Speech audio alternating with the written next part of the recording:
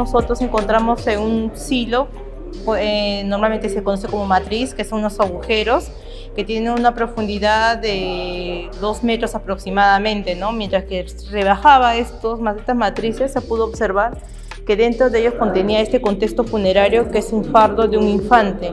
Hemos encontrado en ese contexto dos fardos de, de estos infantes que estaban asociados a estos textiles, a estos mates, a estas cerámicas y, estos, y esta forma de capullo que está envuelto con las mismas soguillas.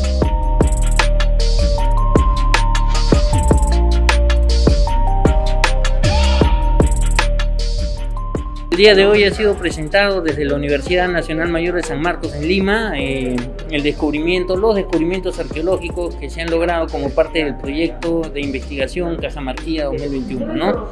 Lo trascendental es justamente la momia, ¿no? que ha dado la vuelta al mundo en cuanto a su noticia y que se puede, eh, ya se encuentra en los ambientes de la Universidad San Marcos para sus análisis.